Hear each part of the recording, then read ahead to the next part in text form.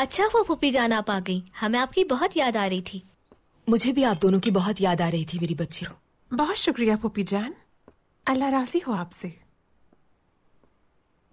भाईजान कैसे हैं अब बाबा की तबीयत अब भी वैसी ही है। हमने बहुत कोशिश की मगर उनमें कोई तब्दीली नहीं आई। कई कई रोज वो कमरे से बाहर नहीं आते। बस कभी कभी पियानो बजा लेते हैं। अगर हमारे बाबा से एहतियाब होते तो वो सुल्तान होते। और हमें आपसे यूँ छुप छुप कर नहीं मिलना पड़ता फूफी जान। खदीजा कौन टाल सकता है किस्मत का लिखा?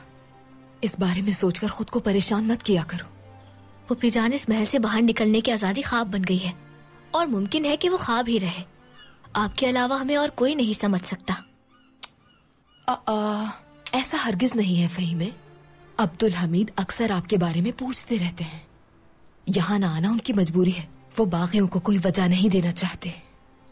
लेकिन हमारा क्या होगा? कभी कोई क्यों नहीं सोचता हमारे लिए? यू महल में रहते रहते हमारी शादियाँ कैसे होंगी?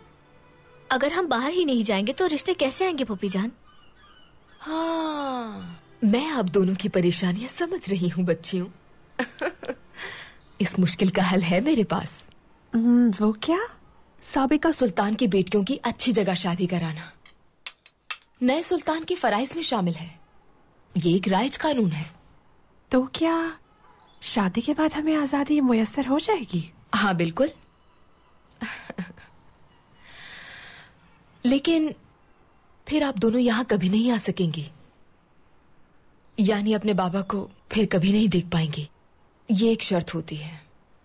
स्नेहा सुल्तान शहजादी नाइमे की जानिब से पैगाम है। उन्होंने आपको महल में मधु किया है। देखा? अगर हमें भी मदू किया जाए तो हम बाहर जा सकते हैं। बिल्कुल। दुरुस्त कहा।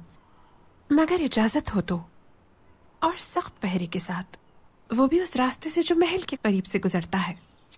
पर इसे आज़ादी तो नहीं कहा जा सकता।